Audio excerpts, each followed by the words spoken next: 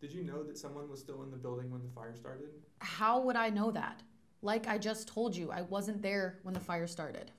A fellow student of yours was there, Margot Miller. Oh, Did you know her?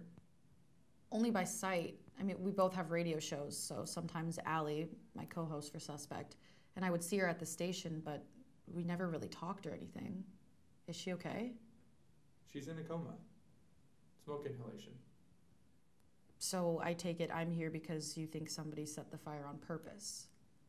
And given my dad, you think I have an emotional reason to want to burn down Standish Hall. Am I right? Truth is, we don't yet know whether the fire was an arson or an accident. Right now, we're still just in the asking questions phase.